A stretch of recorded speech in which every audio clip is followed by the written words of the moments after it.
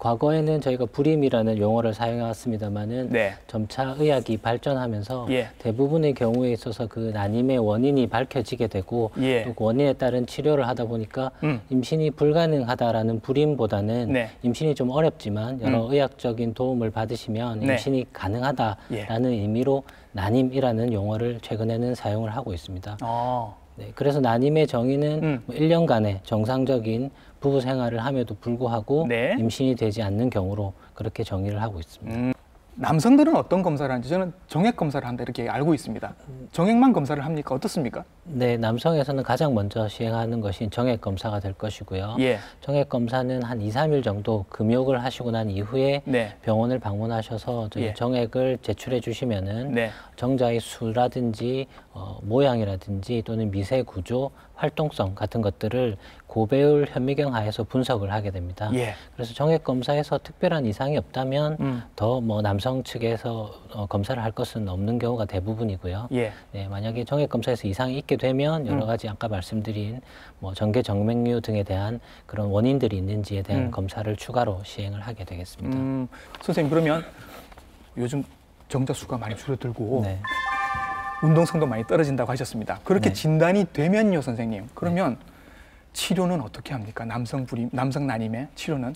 어, 정자 이상이 확인되는 경우에는 음. 저희가 어, 체외 수, 수정 시술 중에 예. 그 정자 하나를 골라서 난자 안에 직접 주입을 하는 미세 조작술을 시행을 하게 됩니다. 사정 통해서 예, 예. 어, 저희가 획- 회수한 정자를 예, 예. 이게 개수가 얼마 되지 않기 때문에 그렇겠죠. 어. 현미경 고배율 현미경 하에서 네. 가장 활동성이 높은 정자를 골라서, 골라내서? 아, 아, 네, 아. 난자에 직접 주입을 하게 되는 시술을 하게 되고요. 아하, 예. 네, 이것은 이제 미세 조작술이라고 하고요. 예. 미세 조작술을 시행을 하게 되면 사실 정자 이상이 없는 경우와 비교해 봤을 때 네. 별다른 임신율의 차이를 보이지 않는 것으로 되어 어. 있습니다. 예. 네, 말씀하신 것처럼 뭐 사정에게 예를 들어 정자가 확인되지 않는다면 음. 고안이나 부고안으로부터 어. 정자를 추출하기 위한 시술을 시행을 하게 되고요. 예. 여기에서 얻어진 정자들은 아무래도 활동성이 좀 떨어지기 때문에 네. 앞서 말씀드린 미세 조작술을 통해서 음. 수정을 하도는 방법을 그렇게 어, 취하고 있습니다. 어, 말씀. 여성들은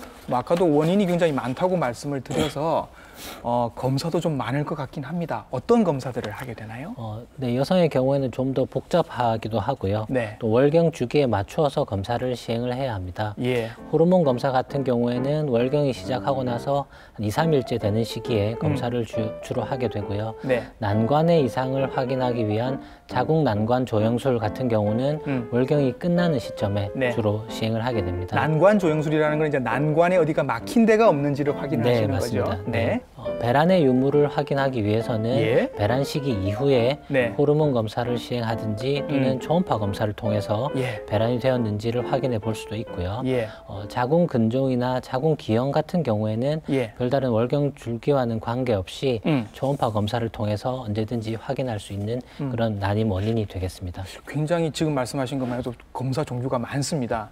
이게 하루 만에 가능합니까? 어, 월경 주기에 따른 검사이기 때문에 예. 어, 초음파 검사라든지 또는 호르몬 검사는 시기를 맞춰 오시면 아, 대부분 그러네요. 가능할 수 있겠습니다. 거의 다 하루에도 가능하다. 네. 날짜를 잘 맞춰서 네. 오시면.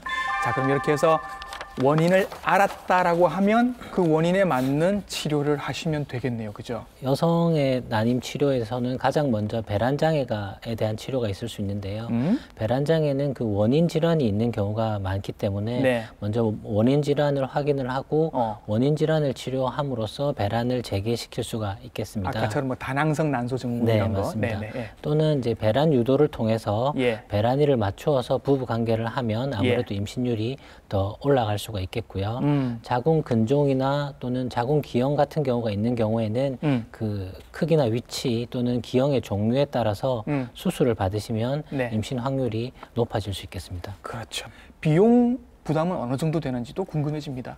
네, 최근에 이 난임 부부에 대한 건강보험 적용이 좀 더 확대가 되면서 예. 어, 나이에 관계없이 네. 신선 배아 이식 에서는 7회, 음. 동결 배아 이식은 5회, 네. 인공 수정은 5회에 대해서 음. 건강보험이 적용이 되고 있습니다. 네. 그래서 건강보험이 적용이 되는 경우에는 시술비나 약제비 등에 있어서 한 음. 30 내지 50% 정도만 본인이 부담을 하게 되어 있고요. 네. 또 최근에 난임 부부 정부 지원 사업이라든지 예. 부산시에서 시행하는 바우처 사업 등을 통해서도 예. 이런 여러 가지 지원들을 받으실 수 있겠습니다. 음, 초혼이 아니라 뭐 이미 아이를 하나 있고 늦둥이를 보고 싶어도 이 적용이 되는 거죠. 네, 네. 예, 예. 적용이 됩니다.